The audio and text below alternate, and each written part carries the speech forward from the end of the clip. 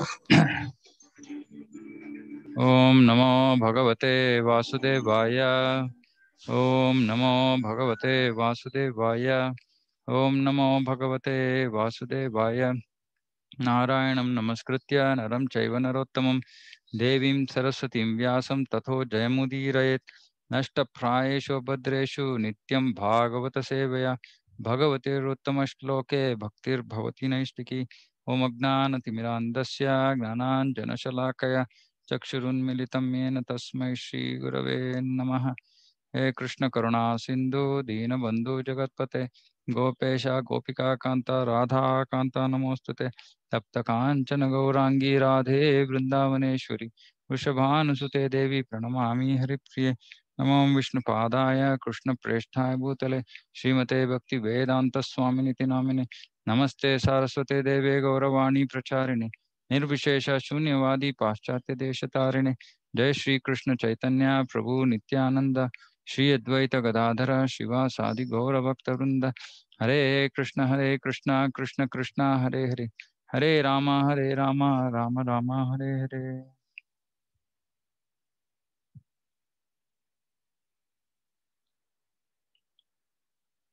हरे Krishna. So ಎರಡನೇ ಅಧ್ಯಾಯ. ಮುಂದುವರ್ಸೋಣ. ಹನ್ನೆರಡನೇ ಶ್ಲೋಕದ ತನಕ ಮಾಡಿದ್ವಿ.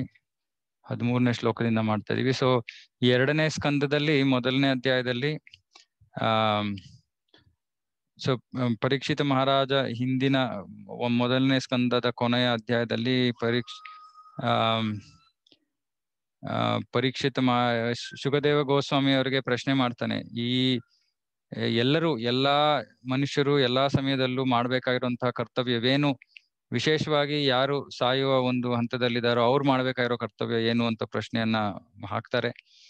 ಆ ಪ್ರಶ್ನೆಗೆ ಉತ್ತರವಾಗಿ ಸುಖದೇವ ಗೋಸ್ವಾಮಿ ಅವರು ಮೊದಲನೇ ಅಧ್ಯಾಯದಲ್ಲಿ ಭಗವತ್ ಸಾಕ್ಷಾತ್ಕಾರಕ್ಕೆ ಮೊದಲನೆಯ ಹೆಜ್ಜೆ ಎಂಬ ಒಂದು ಈ ಅಧ್ಯಾಯದಲ್ಲಿ, ಆ, ನೇರವಾಗಿ ಹೇಳ್ತಾ ಇದ್ದಾರೆ. ಭಗವಂತನ ಮಹಿಮೆಗಳ ಶ್ರವಣ ಮಾತ್ರದಿಂದಲೇ ಮನುಷ್ಯ ತನ್ನ ಜೀವನದ ಗುರಿಯನ್ನು ಸಾಧಿಸೋದಕ್ಕೆ ಸಾಧ್ಯ. ಆದ್ರಿಂದ ಆ ಒಂದು ಭಗವಂತನ ಲೀಲೆಗಳನ್ನ ಶ್ರವಣ ಮಾಡ್ಬೇಕು, ಭಗವಂತನ ಸ್ಮರಣೆ ಮಾಡ್ಬೇಕು ಭಗವಂತನ ನಾಮ ಜಪ ಮಾಡ್ಬೇಕು ಅಂತ ಈ ಮೂರು ಮಾರ್ಗಗಳನ್ನು ಕೂಡ ಈ ಹನ್ನೆರಡು ಶ್ಲೋಕಗಳಲ್ಲಿ ಆಗ್ಲೇ ಹೇಳ್ಬಿಟ್ಟಿದ್ದಾರೆ ಶುಕದೇವ್ ಗೋಸ್ವಾಮಿ. ಮತ್ತೆ ಶ್ರವಣ ಮಾಡೋದಕ್ಕೆ ವಿಶೇಷವಾಗಿ ಭಾಗವತವನ್ನ ಅವರು ಭಾಗವತದ ಅಧ್ಯಯನ ಮಾಡಿದ್ದಾರೆ. ಮತ್ತೆ ಅದನ್ ಅದನ್ನೇ ಎಲ್ಲರೂ ಮಾಡಬೇಕು ಅಂತ ಕೂಡ ಶುಕದೇವ ಗೋಸ್ವಾಮಿ ಅವರು ಇಲ್ಲಿ ನಮ್ಗೆ ಹೇಳ್ತಾ ಇದ್ದಾರೆ. ಮತ್ತೆ ಆ ಹನ್ನೆರಡನೇ ಶ್ಲೋಕದಲ್ಲಿ ತುಂಬಾ ಮುಖ್ಯವಾಗಿ ಜೀವನ ನಾವ್ ಎಷ್ಟು ವರ್ಷ ಬದುಕಿರ್ತೀವಿ ಅನ್ನೋದು ಮುಖ್ಯ ಅಲ್ಲ. ಎಷ್ಟು ನಾವು ಕೃಷ್ಣ ಪ್ರಜ್ಞೆಯಲ್ಲಿ ಇರ್ತೀವಿ ಅನ್ನೋದು ಮುಖ್ಯ. ಆ ಅನ್ಬಿಟ್ಟು ಇವಾಗ ಹದಿಮೂರನೇ ಶ್ಲೋಕದಲ್ಲಿ, ಆ ಹಿಂದಿಂದ ಮುಂದುವರ್ಸೋಣ.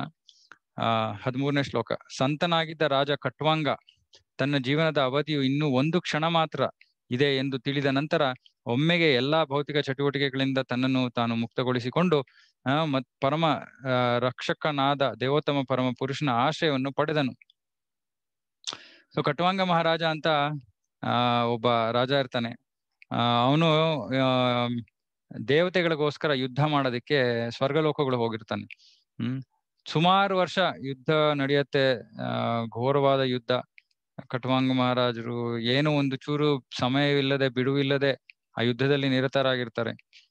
ಸರಿ, ಸುಮಾರು ವರ್ಷ ಆಗತ್ತೆ, ಆಮೇಲೆ, ಆ, ಯುದ್ಧ ಮುಗಿಯ ಮುಗಿಯತ್ತೆ, ಮುಗಿಯೋ ಸಮಯ ಬಂದಿರುತ್ತೆ. ಆಗ ಕಟ್ವಾಂಗ ಮಹಾರಾಜರು, ಯಾಕಂದ್ರೆ ಅವರು ಮೊದಲಿಂದ ಭಕ್ತರು, ಭಗವಂತನ ಭಕ್ತರಾಗಿದ್ರು. ಅವ್ರಿಗೆ ತಮ್ಮ ಜೀವನ ಎಲ್ಲ ಅವರು ಈ ರೀತಿ ಯುದ್ಧ ಮಾಡೋದ್ರಲ್ಲಿ ಅಥವಾ ಏನು ಸಮಯ ವ್ಯರ್ಥ ಮಾಡ್ತಾ ಇದ್ರು ಹಂಗೆ ಅವ್ರಿಗೆ ಅನಿಸ್ತು ಆದ್ರೆ ಕರ್ತವ್ಯ ನಿರ್ವಹಣೆ ಮಾಡ್ಬೇಕು ಅನಿವಾರ್ಯವಾಗಿತ್ತು ಮಾಡ್ತಾ ಇದ್ರು. ಕೊನೆಗೆ, ಆ, ದೇವತೆಗಳೆಲ್ಲ ಕೇಳ್ತಾರೆ. ದೇವತೆಗಳು ಕೇಳ್ತಾರೆ, ಓಕೆ, ನೀವು ನಮ್ಗೋಸ್ಕರ ಎಷ್ಟೊಂದು ಶ್ರಮವನ್ನ ವಹಿಸಿದ್ದೀರಾ, ನಿಮ್ಗೋಸ್ಕರ ನಾವ್ ಏನ್ ಮಾಡ್ಬೋದು? ಅಂತ. ಅವಾಗ ಕಟವಾಂಗ್ ಮಹಾರಾಜರು ಕೇಳ್ತಾರೆ, ನನ್ನ ಜೀವನದಲ್ಲಿ ಎಷ್ಟು ಇನ್ನೂ ಸಮಯ ಇದೆ. ಎಷ್ಟು ಸಮಯ ಇದೆ ನನ್ನ ಜೀವನದಲ್ಲಿ? ಅದ್ ಹೇಳಿ ಮೊದ್ಲು. ಅವಾಗ ದೇವತೆಗಳು ಹೇಳ್ತಾರೆ, ನಿಮ್ಮ ಮನ್, ನಿಮ್ಮ ಜೀವನದಲ್ಲಿ ಒಂದು ಕ್ಷಣ ಇದೆ ಅಂತ. ಒಂದು ಕ್ಷಣ ಅಂದ್ರೆ ಒಂದು ಸೆಕೆಂಡ್ ಅಲ್ಲ.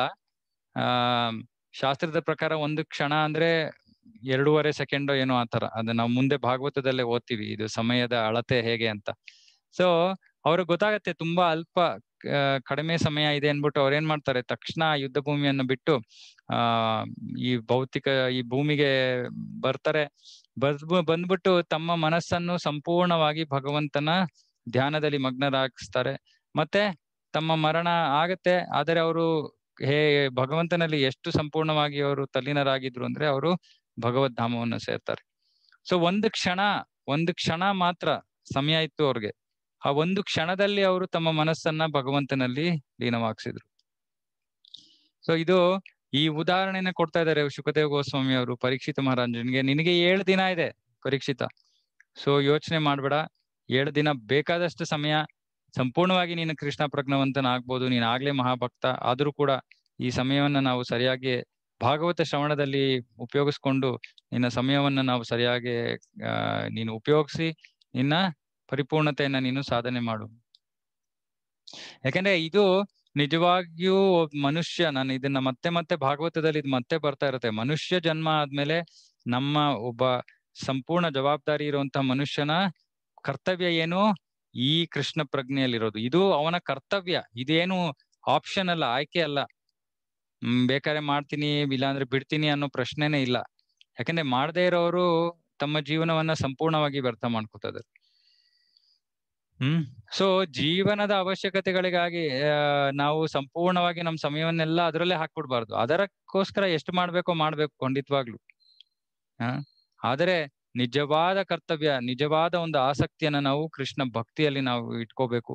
ಅವಾಗ ನಮ್ಮ ಜೀವನ ನಿಜವಾಗ್ಲೂ ನಾವು ಸಾರ್ಥಕ ಮಾಡ್ಕೋತೀವಿ. ಶ್ಲೋಕ ಹದ್ನಾಲ್ಕು. ಮಹಾರಾಜ ಪರೀಕ್ಷಿತ, ಈಗ ನಿನ್ನ ಜೀವನದ ಅವಧಿ ಇನ್ನು ಏಳು ದಿನಗಳವರೆಗೆ ಸೀಮಿತವಾಗಿದೆ. ಆದ್ದರಿಂದ ಈ ಸಮಯದಲ್ಲಿ ನಿಮ್ಮ ಮುಂದಿನ ಜೀವನದ ಉತ್ತಮ ಉದ್ದೇಶಕ್ಕಾಗಿ ಅಗತ್ಯವಿರುವ ಎಲ್ಲಾ ಆಚರಣೆಗಳನ್ನು ನೀವು ಮಾಡಬಹುದು. ಏನು ಅಗತ್ಯವಿರೋ ಆಚರಣೆಗಳು ಆಗ್ಲೇ ಹೇಳ್ಬಿಟ್ಟಿದ್ದಾರೆ. ಭಗವಂತನ ಬಗ್ಗೆ ಶ್ರವಣ, ಸ್ಮರಣ ಮತ್ತೆ ಭಗವಂತನ ನಾಮ ಜಪ. ಸೊ ಬೇರೆ ಏನ್ ಮಾಡಿದ್ರು ಉಪಯೋಗ ಇಲ್ಲ ಅಂತ ಹೇಳ್ತಾ ಇದಾರೆ ಸುಖದೇವ್ ಗೋಸ್ವಾಮಿ, ಇದ್ರಲ್ಲೇ ತೊಡಗಬೇಕು ನೀವು ಇವಾಗ, ಇನ್ನು ಇರೋ ಸಮಯದಲ್ಲಿ. ಆ, ಶ್ಲೋಕ ಹದಿನೈದು. ಒಬ್ಬರ ಜೀವನದ ಕೊನೆಯ ಹಂತದಲ್ಲಿ ಒಬ್ಬರು ಸಾವಿಗೆ ಹೆದರದೆ ಧೈರ್ಯವಾಗಿರಬೇಕು. ಆದರೆ ಭೌತಿಕ ದೇಹ ಮತ್ತು ಅದಕ್ಕೆ ಸಂಬಂಧಿಸಿದ ಎಲ್ಲಾ ಬಾಂಧವ್ಯವನ್ನು ಹಾಗೂ ಅದರಿಂದ ಹುಟ್ಟುವ ಎಲ್ಲಾ ಆಸೆಗಳನ್ನು ಒಬ್ಬಾತನು ಕಡೆದು ಹಾಕಬೇಕು ಎಷ್ಟು ನೋಡಿ ಏನು ಸ್ಪಷ್ಟವಾಗಿ ಏನು ಇದೇ ಇಲ್ಲ ಕನ್ಫ್ಯೂಷನ್ ಇಲ್ಲ. ಒಬ್ಬರ ಜೀವನದ ಕೊನೆಯ ಹಂತದಲ್ಲಿ ಮನುಷ್ಯ ಸಾವಿಗೆ ಹೆದರದೆ ಧೈರ್ಯವಾಗಿರಬೇಕು. ಈ ರೀತಿ ಎಲ್ಲರೂ ಕೂಡ ಮರಣವನ್ನ ಅಪ್ಪಲೇಬೇಕು. ಯಾರಿಗೂ ಇದಿಲ್ಲ. ನಾವು ತಪ್ಪಿಸ್ಕೊಂಡು ಹೋಗ್ತೀವಿ ಅನ್ನೋದು ಪ್ರಶ್ನೆ ಇಲ್ಲ. ಇವತ್ತು ನಾಳೆನೋ, ಯಾವಾಗ ಬರುತ್ತೋ, ಭಾಗವತದಲ್ಲಿ ಹೇಳ್ತಾ ಇದ್ದಾರೆ ಇದನ್ನ. ಮರಣವನ್ನ ಧೈರ್ಯವಾಗಿ ನಾವು ಎದುರಿಸಬೇಕು. ಧೈರ್ಯವಾಗಿ ಎದುರಿಸಬೇಕು ಅಂದ್ರೆ ಏನರ್ಥ? ಸಂಪೂರ್ಣ ಜ್ಞಾನದಲ್ಲಿ. ಏನು ಜ್ಞಾನ? ನಾನು ಈ ದೇಹ ಅಲ್ಲ ಆತ್ಮ.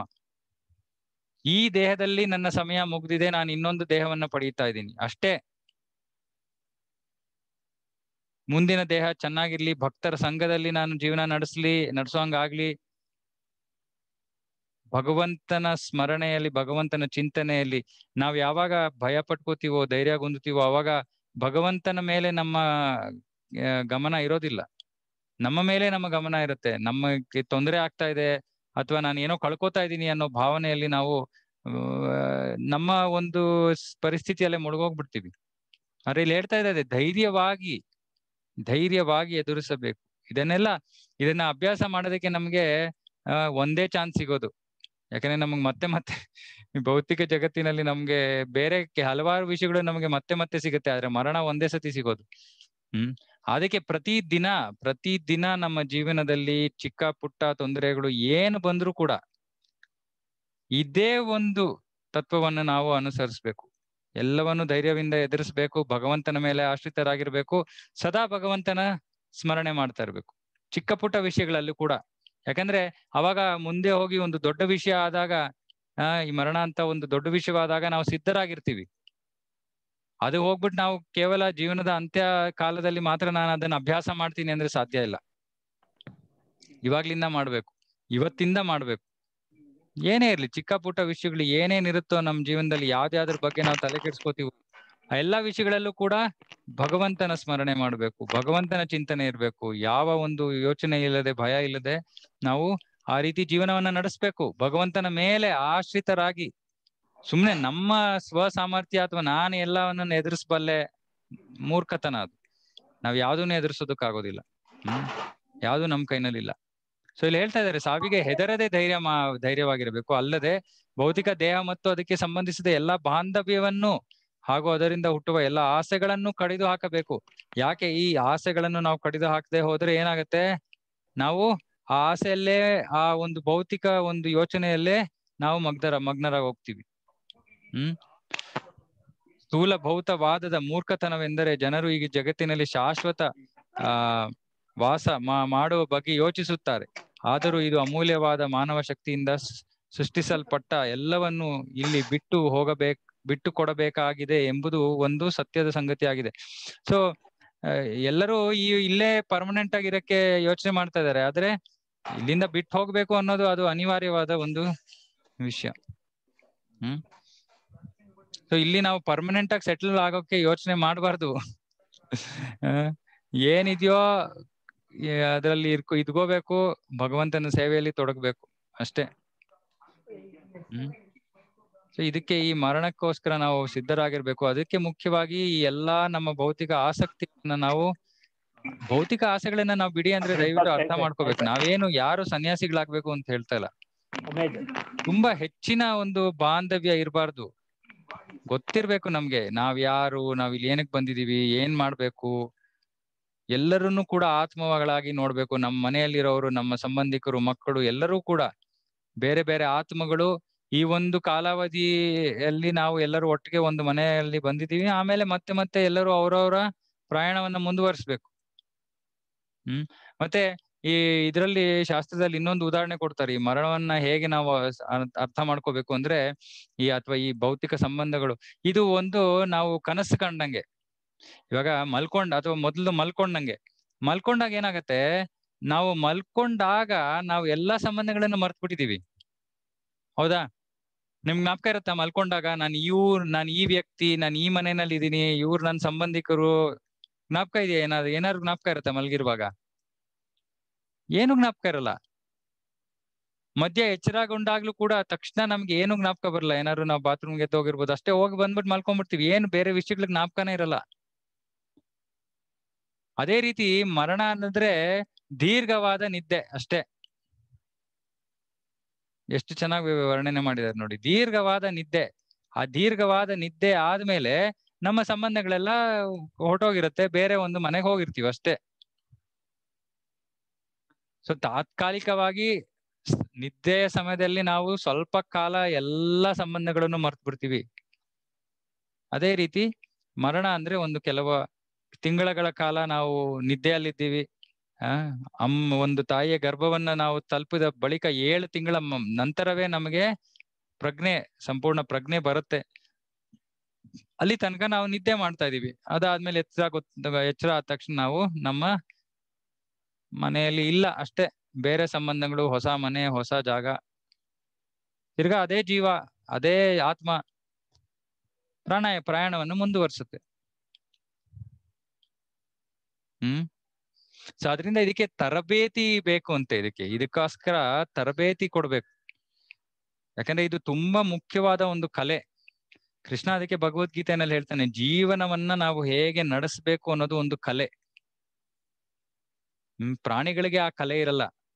ಪ್ರಾಣಿಗಳಿಗೆ ಸುಮ್ನೆ ಆಹಾರ, ನಿದ್ರೆ ಭಯ ಮೈಥುನ. ಆದರೆ ಮನುಷ್ಯರಿಗೆ ಆ ರೀತಿ ಅಲ್ಲ. ಎಂತ ತರಬೇತಿ?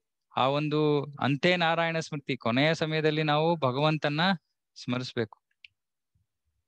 ಅದಕ್ಕೆ ತರಬೇತಿ ಬೇಕು. ಅದಕ್ಕೆ ತರಬೇತಿ ಬೇಕಂದ್ರೆ ಆಧ್ಯಾತ್ಮಿಕ ಜೀವನದಲ್ಲಿ ನಾವು ಪ್ರವೇಶ ಮಾಡ್ಬೇಕು. ಭೌತಿಕ ಜೀವನದಲ್ಲೇ ಸಮಯ ಎಲ್ಲ ಕಳೆದ್ಬಿಟ್ರೆ ನಮ್ಗೆ ಎಲ್ಲಿಂದ ತರಬೇತಿ? ಯಾರು ಕೊಡ್ತಾ ಇದಾರೆ ನಮ್ಗೆ ಭೌತಿಕ ಭೌತಿಕ ಸಂಸ್ಥೆಗಳು ಯಾರಾದ್ರೂ ನಮ್ಗೆ ಇದ್ರ ತರಬೇತಿ ಕೊಡ್ತಾ ಇದಾರ? ಇಲ್ಲ. ಆಧ್ಯಾತ್ಮಿಕ ಜೀವನಕ್ಕೆ ಬರ್ಬೇಕು. ಜೀ, ಆಧ್ಯಾತ್ಮಿಕ ಜೀವನದಲ್ಲಿ ಬಂದ ತಕ್ಷಣ ಇಲ್ಲಿ ಹೇಳ್ತಾರೆ ಆಚಾರ್ಯರು ಇಲ್ಲಿ. ಆ, ಎಲ್ಲ ಭೌತಿಕ ಬಾನ್, ಬಾ, ಎಲ್ಲಾ ಬಾಂಧವ್ಯವನ್ನ ನಾವು ತೊರಿಬೇಕು. ಹ್ಮ್. ಅದಕ್ಕೆ ವರ್ಣಾಶ್ರಮ ವ್ಯವಸ್ಥೆಯಲ್ಲಿ ಐವತ್ತು ವರ್ಷ ನಿಗದಿ ಮಾಡಿದ್ರು. ಐವತ್ತು ವರ್ಷಕ್ಕೆ ವಾನಪ್ರಸ್ಥ. ವಾನಪ್ರಸ್ಥ, ನಾವು ಅದಕ್ಕಿಂತ ಮುಂಚೆ ಎಲ್ಲವನ್ನ ತ್ಯಜಿಸಬೇಕು ಅಂತ ಅಲ್ಲ. ಐವತ್ತು ವರ್ಷಕ್ಕೆ ನಮ್ಮ ಜವಾಬ್ದಾರಿಗಳನ್ನ ನಾವು ಭೌತಿಕ ಬಂಧನಗಳನ್ನೆಲ್ಲ ನಾವು ತೊರೆದು, ತೊರಿಬೇಕು, ತೊರೆದ್ಬಿಟ್ಟು ಭಗವಂತನ ಸೇವೆಯಲ್ಲಿ ಸ್ಥಿತರಾಗ್ಬೇಕು. ಅಟ್ಲೀಸ್ಟ್ ಐವತ್ತು ವರ್ಷಕ್ಕೆ. ಅದಕ್ಕಿಂತ ಮುಂಚೆ ಆಗ್ಲಿಲ್ಲ ಅಂದ್ರೆ ಫಿಫ್ಟಿ ಇಯರ್ಸ್ಗಾದ್ರೂ ನಾವು ವಾನಪ್ರಸ್ಥ ಆಶ್ರಮವನ್ನು ಸ್ವೀಕಾರ ಮಾಡ್ಲೇಬೇಕು. ಹ್ಮ್. ಯಾಕಂದ್ರೆ ಈ ವಾನಪ್ರಸ್ಥ ಆಶ್ರಮ ಅಂದ್ರೆ ಏನು? ನಾವು ಸ್ವಯಂ ಪ್ರೇರಿತರಾಗಿ ಸ್ವಲ್ಪ ಎಲ್ಲ ಈ ಭೌತಿಕ ವಿಷಯಗಳಿಂದ ಸ್ವಲ್ಪ ದೂರವಾಗ್ತೀವಿ. ಒಂದು ತ್ಯಾಗ, ವಿರಕ್ತಿಯನ್ನ ನಾವು ಕಲ್ತ್ಕೋತೀವಿ ಆ ಹಂತದಲ್ಲಿ. ನಾವದನ್ನ ನಮ್, ನಾವಾಗೆ ಕಲ್ತ್ಕೊಳ್ಳಿಲ್ಲ ಅಂದ್ರೆ ಏನಾಗತ್ತೆ ಕೊನೆಗೆ? ಫೋರ್ಸ್ ಆಗತ್ತೆ. ಆ ಕೊನೆ ಸಮಯ ಬಂದಾಗ ಏನೋ ಏ ನೀವೇ ನಾವ್ ಎಲ್ಲವನ್ನು ಬಿಟ್ಟು ಹೋಗ್ಲೇಬೇಕು. ಆದ್ರೆ ಇದನ್ನ ನಾವು ವಾನಪ್ರಸ್ಥದಲ್ಲಿ ನಾವು ಸ್ವಲ್ಪ ತರಬೇತಿ ನಮ್ಮನ್ನೇ ನಾವು ನಮ್ ಟ್ರೈನ್ ಮಾಡ್ಕೋಬೇಕು. ಅವಾಗ ಏನಾಗುತ್ತೆ? ಸ್ವಲ್ಪ ಆ ನಂತರ ಎಲ್ಲ ಸನ್ನಿವೇಶಗಳು ಸ್ವಲ್ಪ ಸುಲಭವಾಗಿ ಎದುರಿಸಬಹುದು ನಾವು. ಹ್ಮ್. ಮನುಷ್ಯನಿಗೆ ಆಸೆಗಳು ಇಲ್ಲದೆ ಇರೋ, ಇರು ಅಂತ ಹೇಳೋದಕ್ಕೆ ಆಗೋದಿಲ್ಲ. ಎಲ್ಲರೂ ಆಸೆಗಳು ಇಟ್ಕೋಬೇಕು. ಆದ್ರೆ ಭೌತಿಕ ಆಸೆಗಳು ಇಟ್ಕೋಬಾರ್ದು. ಅದಕ್ಕಿಂತ ಉನ್ನತ ಮಟ್ಟದ ಆಸೆಗಳನ್ನ ಇಟ್ಕೋಬೇಕು. ಯಾಕಂದ್ರೆ ಈ ಭೌತಿಕ ಆಸೆಗಳು ನಮ್ಗೇನ್, ನಮ್ಗೆ ಅದರಿಂದ ಏನ್ ಸಿಗುತ್ತೆ? ಮತ್ತೆ ಜನನ, ಮರಣ ಇದೇ ನಡೀತಾ ಇರುತ್ತಷ್ಟೇ. ಹ್ಮ್. ಸೊ ಈ ಆಸೆಯನ್ನ ನಾವು ಬೆಳೆಸ್ಕೋಬೇಕು. ಏನು ಆಸೆ? ಈ ರೀತಿ ನಾನು ಭಗವಂತನ ಈ ಅಂತ್ಯ ಕಾಲದಲ್ಲಿ ಭಗವಂತನ ಸ್ಮರಿಸೋಂಗ್ ಆಗ್ಲಿ. ಅದಕ್ಕೋಸ್ಕರ ನಾವು ಪ್ರತಿನಿತ್ಯ ಪ್ರಾಕ್ಟೀಸ್ ಮಾಡ್ಬೇಕು. ಹ್ಮ್.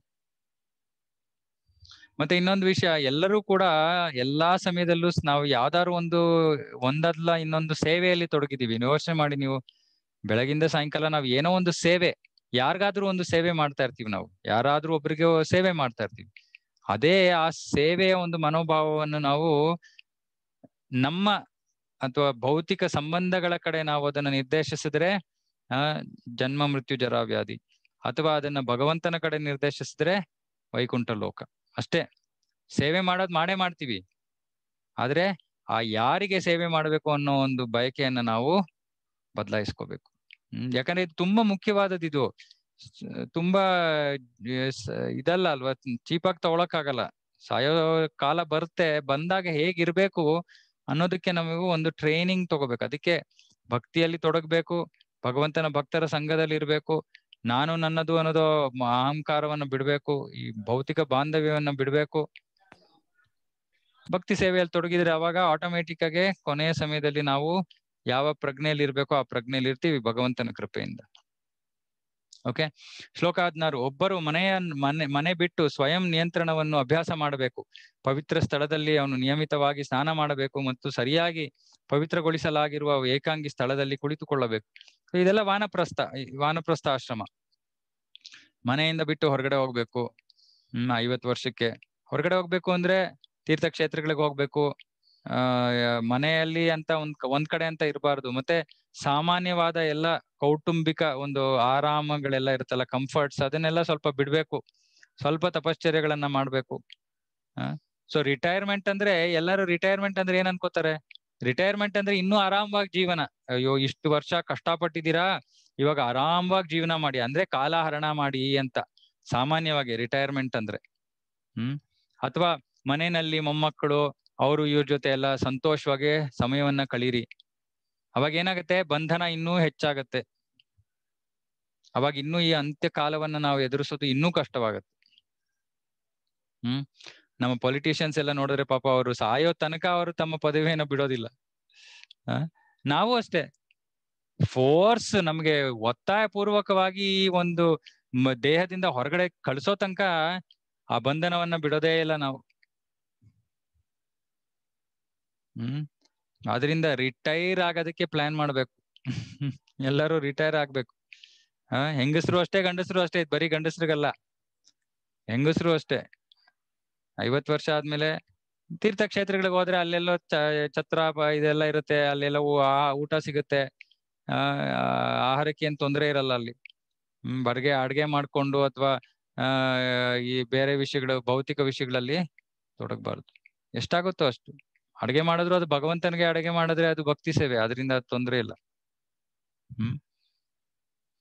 ಸೊ ಕ್ರಮೇಣವಾಗಿ ಮತ್ತೆ ಅಪಾರ್ಥ ಮಾಡ್ಕೋಬಾರ್ದು. ನಮ್ಮ ನಮ್ಮ ಕುಟುಂಬದ ಸದಸ್ಯರನ್ನ ನಾವು ನಿರ್ಲಕ್ಷಿಸ್ಬೇಕು ಅಥವಾ ನಾವು ಎಲ್ಲವನ್ನು ಬಿಟ್ಬಿಟ್ಟು ಕೆಲಸವನ್ನ ಬಿಟ್ಟು ಕಾಡಿಗೆ ಹೋಗ್ಬೇಕು, ಇದೆಲ್ಲ ಏನು ಹೇಳ್ತಾ ಇಲ್ಲ ಇಲ್ಲಿ. ಐವತ್ತು ವರ್ಷದೊಳಗೆ ಎಲ್ಲಾ ನಮ್ಮ ಕರ್ತವ್ಯಗಳನ್ನ ಮುಗಿಸ್ಕೊಳ್ಳೋದಕ್ಕೆ ಪ್ರಯತ್ನ ಮಾಡ್ಬೇಕು. ಇಲ್ಲ ಅಂದ್ರೆ ಐವತ್ತಲ್ದೇ ಇದ್ರೆ ಐವತ್ತೈದು ವರ್ಷ ಅದಕ್ಕೊಂದು ಟೈಮ್ ಲಿಮಿಟ್ ಇರ್ಬೇಕು. ಅಷ್ಟರೊಳಗೆ ನಮ್ಮ ಕರ್ತವ್ಯಗಳನ್ನೆಲ್ಲ ಮುಗಿಸಿ ಅದಾದ್ಮೇಲೆ ನಾವ್ ಎಲ್ಲೇ ಇದ್ರು ಮನೆಯಲ್ಲಿದ್ರೆ ತೊಂದ್ರೆ ಏನಂದ್ರೆ ಈ ಎಲ್ಲ ಬಂಧನದಲ್ಲಿ ಇನ್ನೂ ಹೆಚ್ಚು ಸಿಕ್ಕಾಕೋತೀವಿ. ಸ್ವಲ್ಪ, ಆ, ಗಂಡ, ಹೆಂಡತಿ ಇಬ್ರು ಇದ್ರೆ ಅವಾಗ ಸ್ವಲ್ಪ ಬೇರೆ ತೀರ್ಥಕ್ಷೇತ್ರಕ್ಕೆ ಹೋಗೋದು, ಮಾಡೋದು ಈ ತರ ಮಾಡಿ ಭಗವಂತನ ಸೇವೆಯಲ್ಲಿ ಸಂಪೂರ್ಣವಾಗಿ ತೊಡಗ್ಬೋದು. ಅಥವಾ ಒಬ್ಬರೇ ಇದ್ದಾರೆ ಅಂದ್ರೆ ನಿಂಪಾಡಿಗೆ ನೀವು ಇದ್ಬಿಡಿ, ಭಗವಂತನ ಸೇವೆಯಲ್ಲಿ ತೊಡಗಿ ಮನಸ್ಸನ್ನ ಅದರಲ್ಲಿ ತೊಡಗಿಸಿ ಜೀವನವನ್ನ ಮುಂದುವರಿಸಿ. ಅವ್ರು ಬೇಕು, ಇವ್ರು ಬೇಕು, ಜನ ಬೇಕು, ಯಾರು ಇಲ್ಲ. ಯಾರು ಸಿಗೋದು ಇಲ್ಲ. ನಮಗ್ ಬೇಕಾದ್ರೂ ಕೂಡ ಕೊನೆಯ ಸಮಯದಲ್ಲಿ ನಮ್ ಜೊತೆ ಯಾರು ಬರಲ್ಲ. ಹ್ಮ್, ಅದ್ ಗೊತ್ತೇ ಇದೆ. ಅದಕ್ಕೋಸ್ಕರ ಈಗ್ಲಿಂದಾನೇ ಸಿದ್ಧರಾಗ್ಬೇಕು. ಅದ್ ಬಿಟ್ಬಿಟ್ಟು, ಅಯ್ಯೋ, ನಮ್ಗೆ ಯಾರು ಸಿಗ್ತಾ ಇಲ್ಲ. ಕೊರೋನಾ ಎಲ್ಲ ನಮ್ ನಮ್ ಮನೆಯಲ್ಲಿ ಕೂತಿದೀವಿ. ಏನ್ ತೊಂದ್ರೆ ಆಯ್ತು? ಭಗವಂತನ ಸೇವೆ ಮಾಡ್ಕೊಂಡು ಆರಾಮಾಗಿ ಕೂತಿರ್ಬೋದು ಮನೆಯಲ್ಲಿ ಏನು ಪ್ರಾಬ್ಲಮ್ ಇಲ್ಲ. ಹ್ಮ್. ಮತ್ತೆ ಇನ್ನೊಂದು ಹೇಳ್ತಾರೆ ಇದ್ರಲ್ಲಿ, ಯಾರು ತುಂಬಾ ಈ ಕುಟುಂಬ ಮತ್ತೆ ಕುಟುಂಬದ ಈ ಒಂದು ಆರಾಮಗಳಿಗೆ ಯಾರು ತುಂಬಾ ಅಂಟ್ಕೊಂಡಿರ್ತಾರೋ, ಸಾಮಾನ್ಯವಾಗಿ ಅವರು ಮುಂದಿನ ಜನ್ಮದಲ್ಲಿ ಒಂದು ಮನುಷ್ಯ ಜನ್ಮಕ್ಕಿಂತ ಕೀಳಾದ ಜನ್ಮವನ್ನ ಪಡಿತಾರೆ ಅಂತ. ಯಾಕೆ? ಆ ಒಂದು ಆರಾಮಗಳನ್ನ ನಾವು ಗಳಿಸೋದಕ್ಕೆ ಆಹ್ ಪಾಪಕೃತ್ಯಗಳನ್ನ ಮಾಡಿರ್ತೀವಿ. ಹಾ ಅದರಿಂದ ಏನಾಗತ್ತೆ? ಆ, ನಮಗೆ ಪಾಪದ ಪ್ರತಿಫಲವಾಗಿ ನಾವು ಒಂದು ಮನುಷ್ಯ ಜೀವನ ಅಲ್ಲದೆ ಇರುವಂತಹ ಕೆಳಮಟ್ಟದ ಒಂದು ಜನ್ಮವನ್ನು ಕೂಡ ನಾವು ಪಡಿಬಹುದು ಅದರಿಂದ ಇದು ಈ ಆರಾಮದಾಯಕ ಜೀವನ ಇದೇ ನಮ್ಮ ಜೀವನದ ಗುರಿಯಲ್ಲ. ಆ ಆ ರೀತಿ ನಾವು ನಮ್ಮ ಮನುಷ್ಯ ಜೀವನವನ್ನ ವ್ಯರ್ಥ ಮಾಡ್ಕೋತಾ ಇದೀವಿ ಅಷ್ಟೆ. ಹ್ಮ್? ಅದರಿಂದ ಎಲ್ಲರೂ ಕೂಡ ವಾನಪ್ರಸ್ಥವದ ಬಗ್ಗೆ ದಯವಿಟ್ಟು ಯೋಚನೆ ಮಾಡಿ. ಈಗ್ಲಿಂದಾನೇ ಭಕ್ತಿ ಸೇವೆಯಲ್ಲಿ ತೊಡಗಿ ವಾನಪ್ರಸ್ಥವನ್ನ ಸಾಧನೆ ಮಾಡಿ ಆಮೇಲೆ ಸಂಪೂರ್ಣವಾಗಿ ಭಗವಂತನ ಸೇವೆಯಲ್ಲಿ ತೊಡಗು. ಇವಾಗ ಮನೆ ನಮ್ಮ ಗೃಹಸ್ಥ ಕೆಲಸಗಳ ಕರ್ತವ್ಯಗಳಿದೆ ಅದನ್ನ ಮಾಡ್ಬೇಕು. ಐವತ್ ಐವತ್ತೈದು ವರ್ಷ ಆದ್ಮೇಲೆ ಇರುವಂತವ್ರು ಎಲ್ಲರೂ ಕೂಡ ಇಲ್ಲಿ ದಯವಿಟ್ಟು ನಿಮ್ಮ ಭೌತಿಕ ವಿಷಯಗಳನ್ನ ಕರ್ತವ್ಯಗಳನ್ನ ಮಾಡ್ಲೇಬೇಕು ಅನಿವಾರ್ಯ ಅನ್ನುವಂತ ವಿಷಯಗಳನ್ನ ಮಾತ್ರ ಅದ್ರಲ್ಲಿ ತೊಡಗಿ, ಇಲ್ಲಾಂದ್ರೆ ದಯವಿಟ್ಟು ಭಗವಂತನ ಸೇವೆಯಲ್ಲಿ ನಿಮ್ಮ ಸಮಯವನ್ನು ಬಳಸಿ. ಇಲ್ಲಾಂದ್ರೆ ಸುಮ್ಮನೆ ಕಾಲ ಹೊಟ್ಟೋಗ್ಬಿಡತ್ತೆ ನಮ್ ಕೈನಲ್ಲಿ ಇಲ್ಲ. ಬೇಗ ಸಮಯ ಮುಗಿದ್ಬಿಡುತ್ತೆ. ಶ್ಲೋಕ ಹದಿನೇಳು ಮೇಲೆ ಹೇಳಿರುವ ಹಾಗೆ ಕುಳಿತುಕೊಂಡ ನಂತರ ಮನುಷ್ಯ ಮೂರು ಅತೀಂದ್ರಿಯ ಅಕ್ಷರಗಳನ್ನು ಓಂ ಸ್ಮರಿಸುವಂತೆ ಮಾಡಬೇಕು ಮತ್ತು ಉಸಿರಾಟದ ಪ್ರಕ್ರಿಯೆಯನ್ನು ನಿಯಂತ್ರಿಸುವ ಮೂಲಕ ಅತೀಂದ್ರಿಯ ಬೀಜವನ್ನು ಮರೆಯದಂತೆ ಮನಸ್ಸನ್ನು ನಿಯಂತ್ರಿಸಬೇಕು. ಇದು ಯೋಗದ ಪದ್ಧತಿಯ ಬಗ್ಗೆ ಮಾತಾಡ್ತಾ ಇದ್ದಾರೆ. ಯಾಕಂದ್ರೆ ಇದು ಸ್ವಲ್ಪ ಹಿಂದಿನ ಬೇರೆ ಬೇರೆ ಮಾರ್ಗಗಳಿದ್ವು. ಭಗವಂತನ ಸಾಕ್ಷಾತ್ಕಾರ ಪಡೆಯೋದಕ್ಕೆ. ಇದಕ್ಕೆ ಧ್ಯಾನ ಯೋಗ ಅಂತ ಹೇಳ್ತಾರೆ. ಹ್ಮ್. ಆದ್ರೆ ಇದು ಯೋಗಿಗಳಿಗೆ ಇರೋದು ನಮಗೆ ಅಲ್ಲ, ನಮ್ಮ ಈ ಭೌತಿಕ ಈ ಕಲಿಯುಗದಲ್ಲಿ ವಿಶೇಷವಾಗಿರೋರು ಇದೆಲ್ಲ ಮಾಡೋದಕ್ಕಾಗೋದಿಲ್ಲ. ಹ್ಮ್, ಆದ್ರಿಂದ ನಾವ್ ಮಾಡ್ಬೇಕಾಗಿರೋದು ಸದಾ ನಮ್ಮ ಮನಸ್ಸನ್ನ ಭಗವಂತನ ನಾಮಸ್ಮರಣೆಯಲ್ಲಿ ನಾವು ನಾಮ ಜಪದಲ್ಲಿ ನಾವು ತೊಡಗಿಸ್ಬೇಕು. ಓಂಕಾರ ಅನ್ನೋದು ಭಗವಂತನಿಂದಾನೇ ಬಂದಿರೋದು. ಹೇಗೆ ಭಗವಂತನ ನಾವು ಹರೇ ಕೃಷ್ಣ ಮಹಾಮಂತ್ರವನ್ನ ಹೇಳ್ತೀವಿ ಅದು ಭಗವಂತಿಗೆ ಭಗವಂತನಿಗೆ ಭಗವಂತನಿಗಿಂತ ಅಭಿನ್ನ. ಅದೇ ರೀತಿ ಓಂಕಾರವು ಅಭಿನ್ನ. ಆದ್ರೆ ಓಂಕಾರ ಆ, ಓಂಕಾರ ಒಂದು ಯಾರು ಆ ಈ ಭಗವಂತನ ರೂಪವನ್ನ ಸ್ವೀಕಾರ ಮಾಡಲ್ವೋ ಅಂತವ್ರು ಈ ಒಂದು ಭಗವಂತನ ಓಂಕಾರದ ಒಂದು ರೂಪವನ್ನ ಅವರು ಅದರ ಮೇಲೆ ಧ್ಯಾನ ಮಾಡ್ತಾರೆ. ಆದ್ರೆ ನಮಗೆ ಭಗವಂತನ ರೂಪವನ್ನ ನಾವು ಸ್ವೀಕಾರ ಮಾಡ್ತೀವಿ, ಭಗವಂತನ ನಾಮವನ್ನ ಸ್ವೀಕಾರ ಮಾಡ್ತೀವಿ. ಅದರಿಂದ ಅವನ ಭಕ್ತಿ ಸೇವೆಯಲ್ಲಿ ಅವನ ಶ್ರೀ ವಿಗ್ರಹಕ್ಕೆ ಆರಾಧನೆ ಮಾಡ್ಕೊಂಡು ಅಥವಾ ಭಗವಂತನ ನಾಮ ಜಪ ಮಾಡ್ಕೊಂಡು ನಾವು ನಮ್ಮ ಭಕ್ತಿ ಸೇವೆಯಲ್ಲಿ ನಾವು ಆ ರೀತಿ ತೊಡಗ್ತೀವಿ. ಹ್ಮ್. ಎರಡೂ ಮಾರ್ಗಗಳು ಕೂಡ ಕೊನೆಗೆ ಒಂದೇ ಗುರಿಯನ್ನ ಸಾಧನೆ ಮಾಡೋದು. ಆದರೆ ಈ ಒಂದು ಧ್ಯಾನದ, ಧ್ಯಾನ ಯೋಗದ ಮಾರ್ಗ ತುಂಬಾ ಕಠಿಣ. ತುಂಬಾ ಕಠಿಣ. ಮುಂದೆ ಹೇಳ್ತಾರೆ, ಯಾವ ರೀತಿ ಮಾಡ್ಬೇಕು ಅಂತ ಇಲ್ಲಿ. ಅದನ್ನ ಕೇಳಿದ್ರೆ ನಮ್ಗೆ ಗೊತ್ತಾಗತ್ತೆ, ಇದೆಲ್ಲ ನಮ್ಗೆ, ನಮ್ ಕೈನಲ್ಲಿ ಆಗ್ಲೇ ಇರುವಂತದ್ದು ಶ್ಲೋಕ ಹದಿನೆಂಟು, ಕ್ರಮೇಣ ಮನಸ್ಸು ಹಂತ ಹಂತವಾಗಿ ಆಧ್ಯಾತ್ಮಿಕವಾಗುತ್ತಿದ್ದಂತೆ ಅದನ್ನು ಇಂದ್ರಿಯ ಚಟುವಟಿಕೆಗಳಿಂದ ಹಿಂತೆಗೆದುಕೊಳ್ಳಿ ಮತ್ತು ಬುದ್ಧಿವಂತಿಕೆಯಿಂದ ಇಂದ್ರಿಯಗಳನ್ನು ನಿಯಂತ್ರಿಸಿ. ಭೌತಿಕ ಚಟುವಟಿಕೆಗಳಲ್ಲಿ ಬಹಳಷ್ಟು ಲೀನವಾಗಿರುವ ಮನಸ್ಸನ್ನು ದೇವತಮ ಪರಮ ಪುರುಷನ ಸೇವೆಯಲ್ಲಿ ತೊಡಗಿಸಬಹುದು ಮತ್ತು ಪೂರ್ಣ ಅತೀಂದ್ರಿಯ ಪ್ರಜ್ಞೆಯಲ್ಲಿ ಸ್ಥಿರವಾಗಿಸಬಹುದು. ಸೊ ಈ ಯಾವುದೇ ಒಂದು ಮಾರ್ಗವನ್ನು ಮಾಡಿದ್ರು ಕೂಡ ಕ್ರಮ, ಕ್ರಮಕ್ರಮವಾಗಿ ಮನಸ್ಸು ಏನಾಗ್ಬೇಕು? ಈ ಭೌತಿಕತೆಯಿಂದ ದೂರವಾಗ್ಬೇಕು. ಹ್ಮ್? ಇವಾಗ ನಾವು ಎಲ್ಲ ನಮ್ಮ ಭೌತಿಕ ಜವಾಬ್ದಾರಿಗಳೆಲ್ಲ ಇರುವಾಗ ನಮ್ಮ ಮನಸ್ಸು ಯಾವಾಗ್ಲೂ ಈ ಕೆಲಸ, ಆ ಕೆಲಸ, ಮತ್ತೊಂದು ಕೆಲಸ ಸೊ ಜಪ ಮಾಡ್ತಿರುವಾಗ್ಲೂ ಕೂಡ ಅದೇ ಯೋಚನೆಗಳು ಬರ್ತಾ ಇರುತ್ತೆ. ಆದ್ರೆ ಈ ಎಲ್ಲ ಕರ್ತವ್ಯಗಳು ಮುಗ್ದಾದ ಮೇಲೆ ಮನಸ್ಸನ್ನ ಸ್ವಲ್ಪ ಬೇರೆ ಕೆಲಸಗಳಿಂದ, ಬೇರೆ ವಿಷಯಗಳಿಂದ ದೂರ ಬಿಡ್ಬೇಕು. ಹ್ಮ್. ಈಗ್ಲೂ ನಾವು ಪ್ರಯತ್ನ ಮಾಡ್ತೀವಿ ಜಪ ಮಾಡೋದಕ್ಕೆ, ಆದ್ರೆ ಅಷ್ಟೊಂದು ಚೆನ್ನಾಗ್ ಆಗಲ್ಲ. ಅರೆ ಕ್ರಮೇಣವಾಗಿ ಹೋಗ್ತಾ ಹೋಗ್ತಾ ಜಪ ಚೆನ್ನಾಗ್ ಆಗತ್ತೆ. ಹ್ಮ್. ಸೊ ಅದರಿಂದ ನಮ್ಮ ಮನಸ್ಸನ್ನ ನಾವು ಇಲ್ಲಿ ಭಗವಂತನ ನಾಮಸ್ಮರಣೆಯಲ್ಲಿ, ಭಗವಂತನ ಜಪದಲ್ಲಿ ನಾವು, ಆ ತೊಡಗಿಸ್ಬೇಕು. ಅವಾಗ ಏನಾಗುತ್ತೆ? ಇಂದ್ರಿಯ ಚಟುವಟಿಕೆಗಳಿಂದ ನಾವು ಮುಕ್ತರಾಗ್ತೀವಿ. ಹ್ಮ್? ಮತ್ತೆ ನಮ್ಮ ಇಂದ್ರಿಯಗಳು ಸ್ವಯಂಚಾಲಿತವಾಗಿ ನಿಯಂತ್ರಿತವಾಗತ್ವೆ. ಯಾಕಂದ್ರೆ ನಮ್ಮ ಎಲ್ಲಾ ಇಂದ್ರಿಯಗಳನ್ನು ಭಗವಂತನ ಸೇವೆಯಲ್ಲಿ ತೊಡಗಿಸಿದಾಗ, ನಮ್ಮ ಯಾವ ಇಂದ್ರಿಯಗಳಿಗೂ ಕೂಡ ಭೌತಿಕ ವಿಷಯಗಳಲ್ಲಿ ತೊಡಗೋದಕ್ಕೆ ಅವಕಾಶ ಸಿಗೋದಿಲ್ಲ. ಹ್ಮ್? ಸೊ ಈ ರೀತಿ ಯಾರ ಮನಸ್ಸು ಭೌತಿಕವಾಗಿ ಬಹಳಷ್ಟು ಲೀನವಾಗಿದ್ರು ಕೂಡ ಈ ಭಗವಂತನ ಭಕ್ತಿ ಸೇವೆಯಲ್ಲಿ ತೊಡಗಿದ್ರೆ ಅವರು ಕೂಡ ಆ ಒಂದು ಭಗವಂತನ ಪ್ರಜ್ಞೆಯಲ್ಲಿ ನಾವು ಸ್ಥಿತರಾಗ್ಬೋದು ಅಂತ ಹೇಳ್ತಾ ಇದಾರೆ ಇಲ್ಲಿ. ಸೊ ಎಲ್ಲರಿಗೂ ಕೂಡ ಈ ಭಕ್ತಿಯ ಮಾರ್ಗ ಎಲ್ಲರಿಗೂ ಕೂಡ ಇದೆ. ಎಲ್ಲರೂ ಕೂಡ ಇವಾಗ್ಲಿಂದಾನೇ ನಾವು ಅಭ್ಯಾಸ ಮಾಡಿದ್ರೆ ಅದನ್ನ ಹೋಗ್ತಾ ಹೋಗ್ತಾ ನಾವು ಒಂದು ಪರಿಪೂರ್ಣತೆಯನ್ನ ಅದನ್ನ ನಾವು ಸಾಧನೆ ಮಾಡ್ಬೋದು. ಶ್ಲೋಕ ಹತ್ತೊಂಬತ್ತು ಅದಾದ ನಂತರ ನೀವು ವಿಷ್ಣುವಿನ ಅಂಗಾಂಗಗಳ ಮೇಲೆ ಧ್ಯಾನಿಸಬೇಕು ಮತ್ತು ಸಂಪೂರ್ಣ ದೇಹದ ವಿಚಾರದಿಂದ ವಿಮುಖರಾಗ ಅವನ ಸಂಪೂರ್ಣ ದೇಹದ ವಿಚಾರದಿಂದ ವಿಮುಖರಾಗದೆ ಒಂದರ ನಂತರ ಒಂದರಂತೆ ಅವನ ಅಂಗಾಂಗಗಳನ್ನು ಧ್ಯಾನಿಸಬೇಕು. ಮೊದಲು, ಆ ಪಾದದಿಂದ ಶುರು ಮಾಡಿ. ಹೀಗೆ ಮನಸ್ಸು ಎಲ್ಲಾ ಇಂದ್ರಿಯ ವಸ್ತುಗಳಿಂದ ಮುಕ್ತವಾಗುತ್ತದೆ. ಯೋಚಿಸಬೇಕಾದ ಬೇರೆ ವಿಷಯ ಇರಬಾರದು. ದೇವೋತ್ತಮ ಪರಮಪುರುಷನಾದ ವಿಷ್ಣು ಪರಮ ಸತ್ಯವಾಗಿರುವುದರಿಂದ ಮನಸ್ಸು ಅವನಲ್ಲಿ ಮಾತ್ರ ಸಂಪೂರ್ಣವಾಗಿ ಲೀನವಾಗುತ್ತದೆ. ಸೊ ಇಲ್ಲಿ ಭಗವಂತನ ರೂಪದ ಮೇಲೆ ನಾವು ಧ್ಯಾನಿಸಬೇಕು ಅಂತ ಹೇಳ್ತಾ ಇದ್ದಾರೆ. ಅಂದ್ರೆ ಭಗವಂತ ಸಂಪೂರ್ಣ ಅವನ ರೂಪ ಇದೆ. ಅವನ ರೂಪದ ಮೇಲೆ ಒಂದೊಂದಾಗಿ ಅಂಗಾಂಗಳ ಅದು ಪಾದದಿಂದ ಶುರು ಮಾಡಿ ಒಂದೊಂದು ಅಂಗಾಂಗಗಳ ಮೇಲೂ ನಾವು ಧ್ಯಾನವನ್ನ ಮಾಡ್ಬೇಕು. ಹ್ಮ್? ಸೊ ಅದರಿಂದ ಭಗವಂತನಿಗೆ ನಿರಾಕಾರ ಅಂದ್ರೆ ಅದು ಮುಟ್ಟಾಳ್ತನ. ಭಗವಂತನಿಗೆ ರೂಪ ಇದೆ. ಆ ರೂಪವನ್ನ ನಮ್ಮ, ನಾವು ದೇವಾಲಯಗಳಲ್ಲಿ ನೋಡುವಂತ ಶ್ರೀ ವಿಗ್ರಹಗಳು ಆ ರೂಪವನ್ನ ನಮಗೆ ತೋರಿಸ್ಕೊಡ್ತಾ ಇದೆ. ಹೇಗೆ ಭಗವಂತ ಹೇಗಿರ್ತಾನೆ ಅವನ ರೂಪ ಹೇಗಿರುತ್ತೆ ಅನ್ನೋದನ್ನ ನಮ್ಗೆ ತೋರಿಸ್ಕೊಡ್ತಾ ಇದಾರೆ ಹ್ಮ್? ಸೊ ಅದರಿಂದ ದೇವಸ್ಥಾನಕ್ಕೆ ಹೋಗ್ಬೇಕು, ದೇವಸ್ಥಾನಕ್ಕೆ ಹೋಗಿ ದೇವ್ರ ಮುಂದೆ ನಿಂತ್ಕೋಬೇಕು. ನಿಂತ್ಕೊಂಡು ಆ ಒಂದು ಭಗವಂತನ ಮೇಲೆ ಧ್ಯಾನ ಮಾಡ್ಬೇಕು. ಅದ್ ಬಿಟ್ಟು ನಾವೇನ್ ಮಾಡ್ತೀವಿ? ದೇವಸ್ಥಾನಕ್ಕೆ ಹೋಗ್ತೀವಿ. ಅಲ್ಲಿ ಮಂಗಳಾರತಿ ತಗೊಳಕ್ಕೆ ಅಥವಾ ಗಂಟೆ ಬಾರಿಸೋದಕ್ಕೆ ಅಥವಾ ಈ ತೀರ್ಥ ತಗೊಳೋದಕ್ಕೆ ನಮ್ಗೆ ಆಸಕ್ತಿ. ಆಮೇಲೆ ಒಂದ್ ಎರಡ್ ನಿಮಿಷ ಏನೋ ಮಾತಾಡ್ತೀವಿ.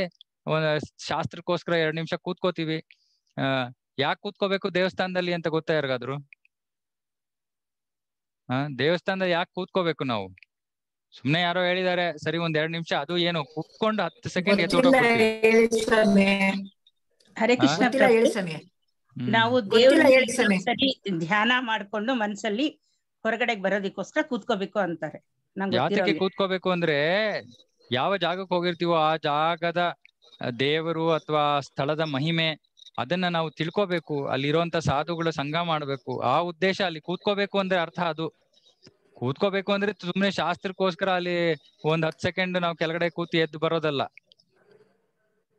ಸೊ ಅದರಿಂದ ದೇವಸ್ಥಾನದಲ್ಲಿ ಹೋದಾಗ ಒಂದ್ ಭಕ್ತಿ ಭಾವದಿಂದ ಹೋಗ್ಬೇಕು. ಆ ಸ್ವಲ್ಪ ಅಲ್ಲಿ ಸಮಯ ಕಳೆಯುವಂತ ಉದ್ದೇಶದಿಂದ ಹೋಗ್ಬೇಕು. ಹ್ಮ್. ಸೊ ಅಲ್ಲಿ ಭಗವಂತನ ವಿಗ್ರಹ ಭಗವಂತನ ವಿಗ್ರಹವನ್ನ ನಾವು ಕೆಳಗಿಂದ ಮೇಲೆ, ಹ್ಮ್, ಎಲ್ಲಾ ಅಂಗಾಂಗಗಳನ್ನು ನಾವು ನೋಡ್ಬೇಕು ಅಂತ. ಹ್ಮ್.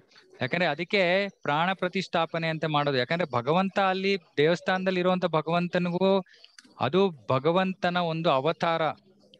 ಭಗವಂತ ಒಂದು ಭೌತಿಕ ಅಂಶಗಳಿಂದ ಮಾಡಲ್ಪಟ್ಟಿರೋ ಒಂದು ವಸ್ತು, ಒಂದು ವಿಗ್ರಹದ ವಿಗ್ರಹವನ್ನ ಸ್ವೀಕಾರ ಮಾಡ್ತಾ ಇದ್ದಾನೆ. ತನ್ನ ದೇಹ ಅಂತ, ತಾನು ನೆಲೆಸುವಂತ ಜಾಗ ಅಂತ.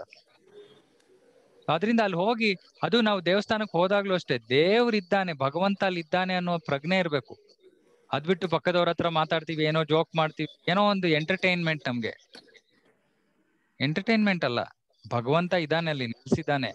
ಭಗವಂತ ನೋಡ್ತಾ ಇದ್ದಾನೆ ನಮ್ಮನ್ನ, ಏನಪ್ಪ ಇವನು ನನ್ನ ಮುಂದೆ ನಿಂತಿದ್ದಾನೆ, ಆಟ ಆಡ್ಕೊಂಡಿದ್ದಾನೆ ಏನೋ ಜೋಕ್ ಮಾಡ್ಕೊಂಡು ಕೂತಿದ್ದಾನೆ ಹೋಗ್ಲಿ ಬಿಡು.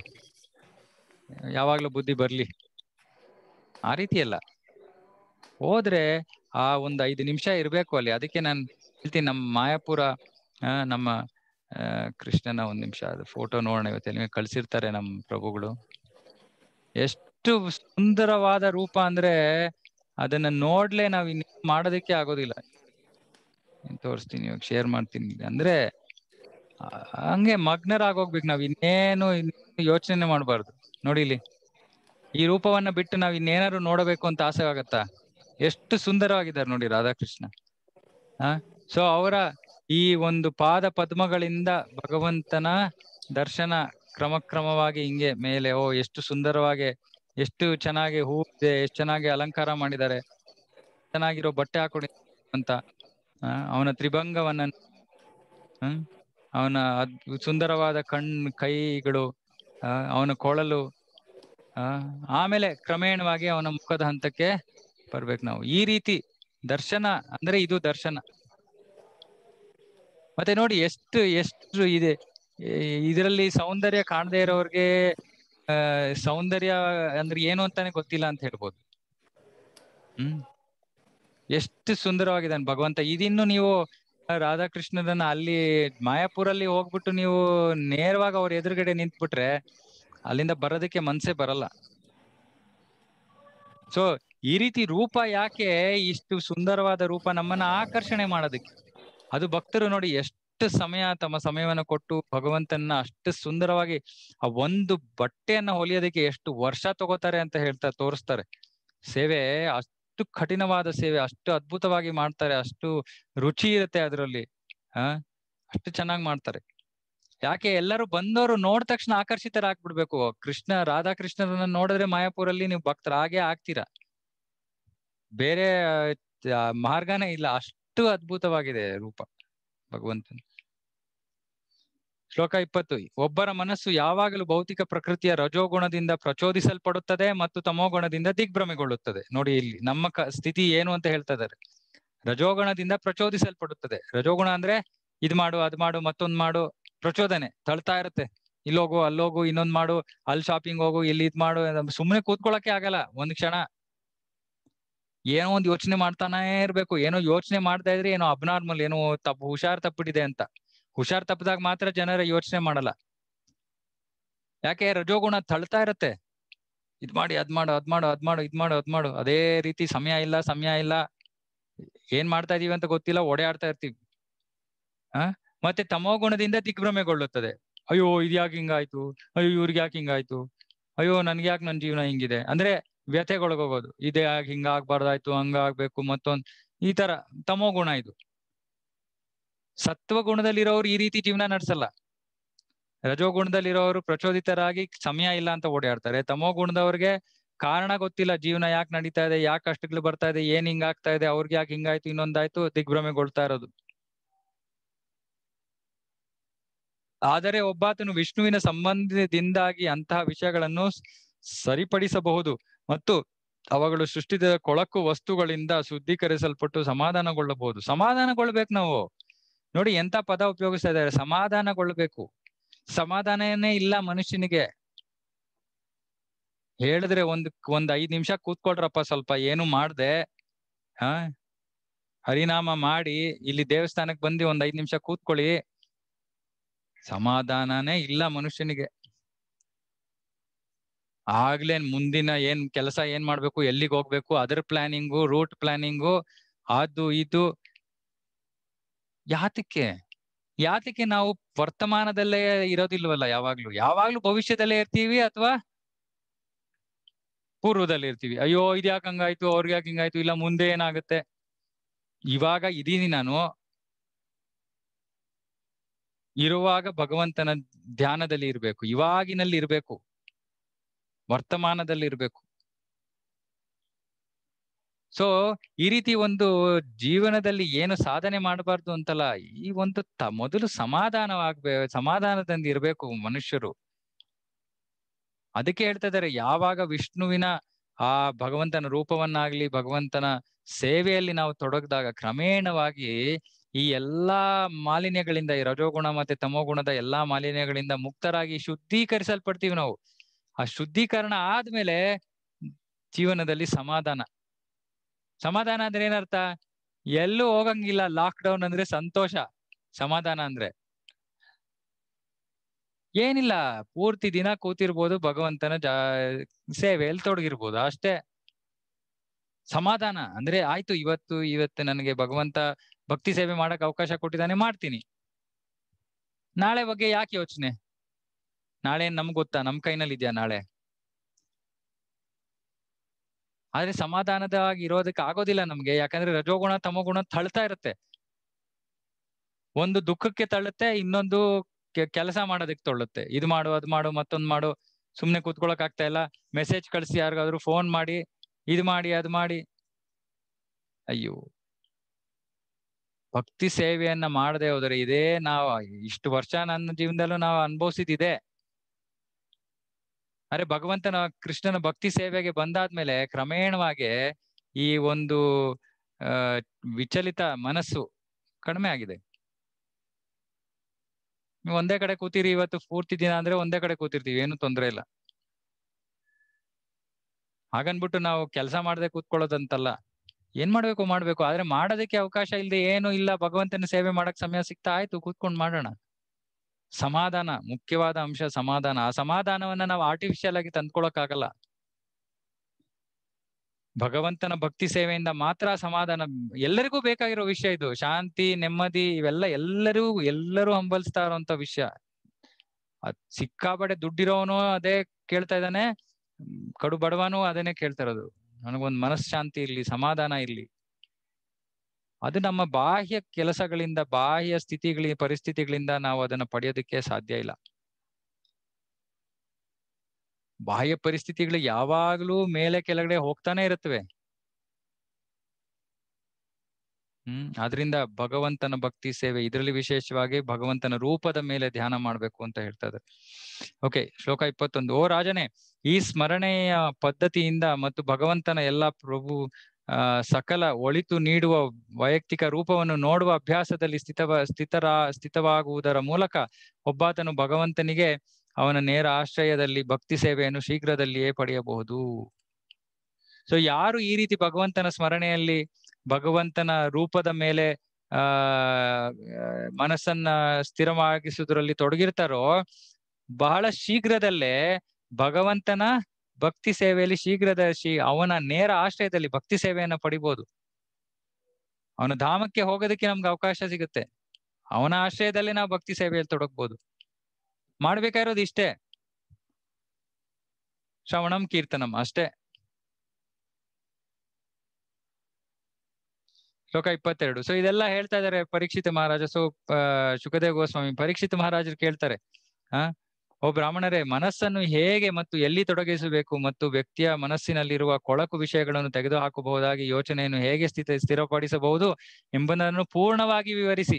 ಸೊ ಇವಾಗ ತುಂಬಾ ಸಂಕ್ಷಿಪ್ತವಾಗಿ ಹೇಳ್ಬಿಟ್ಟಿದ್ದಾರೆ. ಒಂದು ಐದಾರು ಶ್ಲೋಕದಲ್ಲೇ ಹೀಗೆ ನಾಮ ಜಪ ಮಾಡಿ, ಭಗವಂತನ ರೂಪದ ಮೇಲೆ ಅಹ್ ಇದ್ ಮಾಡಿ, ಶ್ರವಣ ಮಾಡಿ, ಭಗವಂತನ ಲೀಲೆಗಳನ್ನ ಅಂತ ತುಂಬಾ ಶಾರ್ಟ್ ಆಗಿ ಹೇಳ್ಬಿಟ್ಟಿದ್ದಾರೆ. ಆ ಆದ್ರಿಂದ ಇಲ್ಲಿ ಪೂರ್ಣವಾಗಿ ವಿವರಿಸಿ, ಸಂಪೂರ್ಣವಾಗಿ ವಿವರಿಸಿ. ಹ್ಮ್ ಹ್ಮ್. ಸೊ ಅದರಿಂದ ಈ ನಮ್ಮ ಮನಸ್ಸಿನಲ್ಲಿ ಇರುವಂತಹ ಈ ಕೊಳೆ ಇದರಿಂದಾನೇ ನಮಗೆ ತೊಂದರೆ ಆಗ್ತಾ ಇರೋದು. ಈ ಕಾಮ, ಕ್ರೋಧ, ಲೋಭ, ಮೋಹ, ಮದ, ಮಾತ್ಸರ್ಯ ಇದರಿಂದಾನೇ ನಮಗೆ ನಿಜವಾಗ್ಲೂ ತೊಂದರೆ ಆಗ್ತಾ ಇರೋದು ನಮ್ಮ ವೈರಿಗಳು ಇವೆ. ಆ, ಅವು ಹೊರಗಿನ ಸನ್ನಿವೇಶಗಳೆಲ್ಲ ಹೊರಗಿನ ಜನರಲ್ಲ. ಹ್ಮ್.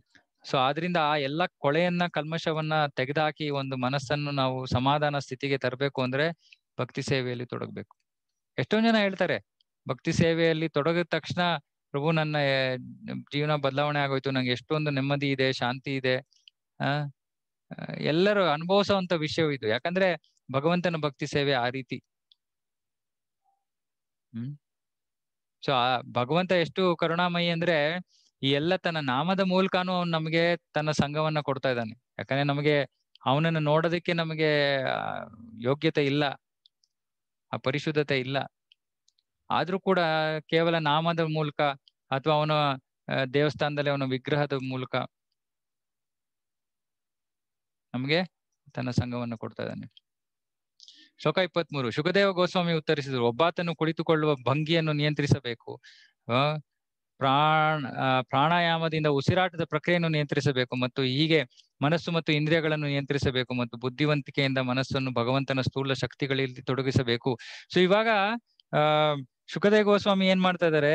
ಇವಾಗ ಒಂದು ವಿರಾಟ ಭಗವಂತನ ವಿಶ್ವರೂಪದ ಬಗ್ಗೆ ಮಾತಾಡ್ತಾರೆ ಇವಾಗ. ಯಾಕೆ ವಿಶ್ವ ರೂಪದ ಬಗ್ಗೆ ಮಾತಾಡ್ತಾರೆ?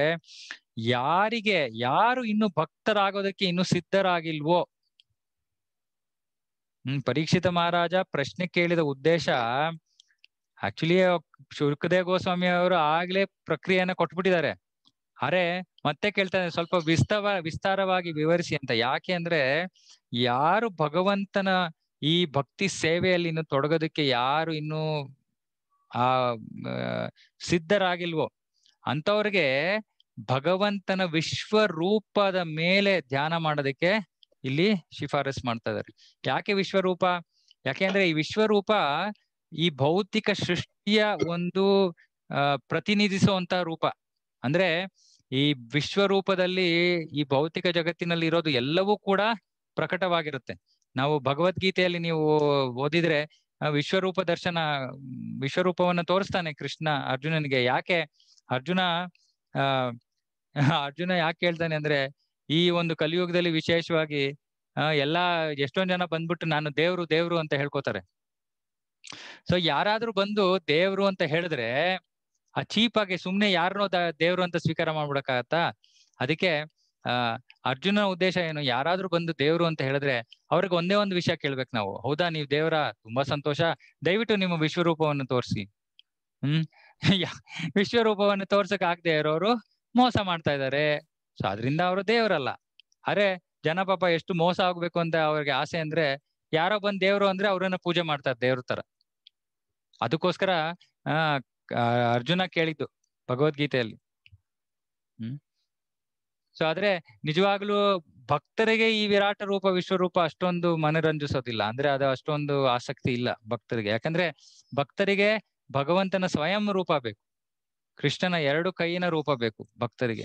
ಆದ್ರೆ ಯಾರು ಭಗವಂತನ ಎರಡು ಕೈ ರೂಪವನ್ನ ಇನ್ನು ಸ್ವೀಕಾರ ಮಾಡಕ್ ಸಿದ್ಧರಾಗಿಲ್ವೋ, ಅವರು ಈ ವಿಶ್ವರೂಪದಲ್ಲಿ ತಮ್ಮ ಮನಸ್ಸನ್ನ ಕೇಂದ್ರೀಕರಿಸಬಹುದು ಅದರಿಂದಲೂ ಕೂಡ ಅವ್ರಿಗೆ ಪ್ರಯೋಜನ ಸಿಗುತ್ತೆ. ಕ್ರಮೇಣವಾಗಿ ಅವರು ಭಗವಂತನ ರೂಪವನ್ನ ಸ್ವೀಕಾರ ಮಾಡೋ ಹಂತಕ್ಕೆ ಬರ್ತಾರೆ. ಹ್ಮ್? ಇವಾಗ ಎಷ್ಟೊಂದ್ ಜನಕ್ಕೆ ನಾವು ಬನ್ನಿ, ಇಲ್ಲಿಗೆ ಪ್ರವಚನಕ್ಕೆ ಬನ್ನಿ, ಅಥವಾ ದೇವಸ್ಥಾನ, ಇದಕ್ಕೆ ದೇವಸ್ಥಾನಕ್ಕೆ ಬಂದ್ರಿ ಅಂದ್ರೆ ಇಲ್ಲ ಅಂತಾರೆ. ಆದ್ರೆ, ಆ, ಎಲ್ಲೋ ಹಾಲಿಡೇಗೆ ಹೋಗ್ತಾರೆ. ಮಾರಿಷಿಯಸ್ಗೆ ಹೋಗ್ತಾರೆ, ಇಲ್ಲ ಗೋವಾಗ ಹಾಕ್ತಾರೆ. ಅಲ್ಲಿ ಹೋಗ್ಬಿಟ್ಟು, ಓ, ಎಷ್ಟ್ ಚೆನ್ನಾಗಿದೆ ನೋಡಿ ಸಮುದ್ರ. ಎಷ್ಟ್ ಚೆನ್ನಾಗಿದೆ ಸೂರ್ಯ, ಎಷ್ಟು ಚೆನ್ನಾಗಿದೆ ಇದು ವಾತಾವರಣ, ನೈಸರ್ಗಿಕ, ಅದು ಇದು ಅಂತ ಹೇಳಿದಾಗ ಕ್ರಮೇಣವಾಗಿ ಅವ್ರಿಗೆ ಹೇಳ್ಬೇಕು, ಓ, ಈ ನಿಸರ್ಗ ಕೂಡ ಭಗವಂತನ ಅಂಶ, ಭಗವಂತನಿಂದ ಬಂದಿರೋದು. ಆ ಮೂಲಕ ಭಗವಂತನ ನೋಡೋದಕ್ಕೆ ಕಾಣೋದಕ್ಕೆ ಒಂದು ಅವ್ರಿಗೆ ಅವ್ರಿಗೆ ಅವಕಾಶ. ಹ್ಮ್. ಸೊ ಅದರಿಂದ ವಿಶ್ವರೂಪದ ಮೇಲೆ ನಾವು ಧ್ಯಾನ ಮಾಡಿದ್ರೆ ಆಗ ನಮ್ಮ ಸುತ್ತಮುತ್ತಲ ಇರೋ ಎಲ್ಲವನ್ನು ನೋಡಿ, ಓ ಇಲ್ಲ ಎಲ್ಲವೂ ಕೂಡ ಭಗವಂತನ ದೇಹದಿಂದ ಬಂದಿದೆ, ಭಗವಂತನ ಅಂಶ, ಭಗವಂತನ ಸೃಷ್ಟಿ. ಆಗ ಹೇಗೋ ಒಂದು ಭಗವಂತ ನಮ್ಮ ಜೀವನದಲ್ಲಿ ಬರ್ತಾನೆ. ಓ, ಎಷ್ಟು ಸುಂದರವಾದ ಹೂ ಭಗವಂತ ಸೃಷ್ಟಿ ಮಾಡಿದಾನೆ. ಓ, ಭಗವಂತ ಭಗವಂತ. ಹೇಗೋ ಅಂತೂ ವಿಷ್ಣು, ಕೃಷ್ಣ ನಮ್ಮ ಜೀವನದಲ್ಲಿ ನಮ್ಮ ಯೋಚನೆಯಲ್ಲಿ ಬರ್ಬೇಕು. ಅದಕ್ಕೆ ಸುಖದೇವ ಗೋಸ್ವಾಮಿ ಹೇಳ್ತಾ ಇದಾರೆ, ವಿರಾಟ್ ರೂಪದಿಂದಾನೆ ಪ್ರಾರಂಭ ಮಾಡ್ಲಿ ಅವರು, ತೊಂದರೆ ಇಲ್ಲ. ಇದು ಎಂತಹ ವಿರಾಟ್ ರೂಪ? ಶ್ಲೋಕ ಇಪ್ಪತ್ನಾಲ್ಕು. ಅಸಾಧಾರಣ ಈ ಭೌತಿಕ, ಈ ದೈತ್ಯಾಕಾರದ ಅಭಿವ್ಯಕ್ತಿ. ದೈತ್ಯಾಕಾರ ಯಾಕೆ? ಈ ಬ್ರಹ್ಮಾಂಡ ಅಷ್ಟು ದೊಡ್ಡದಾಗಿದೆ, ಆ ಸಂಪೂರ್ಣ ಬ್ರಹ್ಮಾಂಡವನ್ನ ಪ್ರತಿನಿಧಿಸ್ತಾ ಇದೆ ಈ ರೂಪ. ಹ್ಮ್? ಸೊ ಅದು ಭಗವಂತನ ದೇಹ ಅಂತ ನಾವು ದೇಹವಾಗಿ ಕಾಣ್ಬೇಕದನ್ನ ಅದು ನಿಜವಾದ ರೂಪ ಅಲ್ಲ. ಅದೊಂದು, ಆ, ಒಂದು ಕಾಲ್ಪನಿಕ ಅಂದ್ರೆ ಪ್ರತಿನಿಧಿಸುವಂತ ರೂಪ. ಹ್ಮ್? ಆ ಸೊ ಈ ಒಂದು ವಿಶ್ವರೂಪದಲ್ಲಿ ಭೂತ, ವರ್ತಮಾನ, ಭವಿಷ್ಯ ಎಲ್ಲವನ್ನು ನಾವು ಕಾಣ್ಬೋದು. ಹೌದಾ? ಆ, ಭಗವದ್ಗೀತೆಯಲ್ಲಿ ಅರ್ಜುನನ್ಗೆ ಹೇಳ್ತಾನೆ ಕೃಷ್ಣ, ನೋಡಪ್ಪ, ಆ ನೀನ್ ಆಗ್ಲೇ ಯಾರನ್ನ ಕೊಲ್ಲಲ್ಲ ಅಂತ ಗೋಳಾಡ್ತಾ ಇದೆಯೋ ಅವ್ರನ್ನೆಲ್ಲ ನಾನ್ ಕೊಂದ್ಬಿಟ್ಟಿದೀನಿ ನೋಡು ಅಂತ ತೋರಿಸ್ತಾನೆ. ಅವರೆಲ್ಲ ಪಾ, ಕೌರವರೆಲ್ಲ ಸಾಯ್ತಾ ಇದ್ದಾರೆ ಅವನು ಬಾಯೊಳಗೆ ನುಗ್ಗುತ್ತಾ ಇದ್ದಾರೆ ಸೊ ಆದ್ರೆ ಆದ್ರೆ ಅಂದ್ರೆ ಈ ವಿಶ್ವರೂಪದಲ್ಲಿ ಹಿಂದೆ ಮುಂದೆ ಇವತ್ತು ಭೂತ ವರ್ತಮಾನ ಭವಿಷ್ಯ ಎಲ್ಲವನ್ನು ನಾವು ನೋಡ್ಬೋದು. ಹ್ಮ್? ಓಕೆ, ಮುಕ್ಕಾಲ್ ಗಂಟೆ ಆಯ್ತು. ಇಲ್ಲಿಗೆ ನಿಲ್ಸೋಣ. ಹ್ಮ್. ಓಕೆ ಆಮೇಲೆ ಬ್ರಹ್ಮಾಂಡದ ಒಂದು ವರ್ಣನೆ ಇದೆ. ಓಕೆ ಇದು ಇನ್ನು ಏಳು, ಎಂಟತ್ತು ಶ್ಲೋಕ ಒಟ್ಟಿಗೆ ಇದೆ ನಾಳೆ ಮಾಡೋಣ ಓಕೆ ಸೊ ಇವತ್ತಿನ ಒಂದು, ಆ, ತಾತ್ಪರ್ಯ ಅಂದ್ರೆ ಏನು? ಈ ಒಂದು ಮರಣದ ಸಮಯವನ್ನ ಯಾವ ರೀತಿ ನಾವು ಸ್ವೀಕಾರ ಮಾಡ್ಬೇಕು? ಹ್ಮ್, ಸಮಾಧಾನಗೊಳ್ಬೇಕು, ನಾವು ಮನಸ್ಸು ಸಮಾಧಾನದಲ್ಲಿರ್ಬೇಕು ಇರ್ಬೇಕು ಅದಕ್ಕೆ ಇರೋದು ಒಂದೇ ಒಂದು ಮಾರ್ಗ, ನಾವು ಭಗವಂತನ ಭಕ್ತಿ ಸೇವೆಯಲ್ಲಿ ತೊಡಗಬೇಕು. ಅಂದ್ರೆ ಭಗವಂತನ ನಾಮಸ್ಮರಣೆ, ಭಗವಂತನ ರೂಪವನ್ನ ನೋಡುವಂತದ್ದು ಭಗವಂತನ ರೂಪವನ್ನು ನೋಡಿದಾಗ್ಲೂ ಕೂಡ ಅವನ ಪಾದದಿಂದ, ಆ ಪದ್ಮ ಮುಖದ ತನಕ ನಾವು ಕ್ರಮೇಣವಾಗಿ ನೋಡ್ಕೊಂಡು ಹೋಗ್ಬೇಕು. ಹ್ಮ್, ಆ, ಮತ್ತೆ ಈ ಒಂದು ಭೌತಿಕ ಬಾಂಧವ್ಯದಿಂದ ಮುಕ್ತರಾಗ್ಬೇಕು. ಐವತ್ತು ವರ್ಷ ಆದ್ಮೇಲೆ ವಾನಪ್ರಸ್ಥದ ಒಂದು ಆಶ್ರಮವನ್ನು ಸ್ವೀಕಾರ ಮಾಡಬೇಕು. ಅಂತಹ ಒಂದು ತರಬೇತಿಯನ್ನ ನಾವೇ ಆ, ನಮ್ಮನ್ನ ಆ ಸನ್ನಿವೇಶದಲ್ಲಿ ಹಾಕೊಂಡು ಈ ಎಲ್ಲ ಭೌತಿಕ ವಿಷಯಗಳಿಂದ ಸ್ವಲ್ಪ ವಿರಕ್ತಿಯನ್ನ ನಾವು ಬೆಳೆಸ್ಕೊಂಡ್ರೆ ಮತ್ತೆ ಭಗವಂತನ ಮೇಲೆ ನಮ್ಮ ಮನಸ್ಸನ್ನ ಕೇಂದ್ರೀಕರಿಸಿದ್ರೆ ನಾವು ಕೇವಲ ಮರಣದಿಂದ ಒಂದು ಭಯದಿಂದ ಮುಕ್ತರಾಗೋದಿಲ್ಲ, ಅದು ಮಾತ್ರ ಅಲ್ಲ. ಮುಂದಿನ ಜನ್ಮದಲ್ಲೂ ಕೂಡ ನಾವು ಭಕ್ತಿಯನ್ನು ಮುಂದುವರ್ಸೋದಕ್ಕೆ ನಮ್ಗೆ ಅವಕಾಶ ಸಿಗುತ್ತೆ. ಕೊನೆಗೆ ಈ ಸನ, ಈ ಒಂದು ನಮ್ಮ ನಿರಂತರವಾದ ಪ್ರಯಾಣದಲ್ಲಿ ನಾವು ನಮ್ಮ ಧ್ಯೇಯವನ್ನ, ಗುರಿಯನ್ನ ನಾವು ಸಾಧಿಸೋದಕ್ಕೆ ಸಾಧ್ಯ ಆಗುತ್ತೆ. ಸೊ, ಇಷ್ಟು ಹೇಳ್ಬಿಟ್ಟು ಇವತ್ತಿನ ಈ ಒಂದು ಪ್ರವಚನವನ್ನ ಮುಗಿಸೋಣ. ಶ್ರೀಮದ್ ಭಾಗವತಂ ಕಿ ಜಯ ಶಿಲ ಪ್ರಭುಪಾದ ಕಿ ಜಯ ಸಮವೇತ ಗೌರ ಭಕ್ತವೃಂದ ಕಿ ಜೈ ಹರೇ ಕೃಷ್ಣ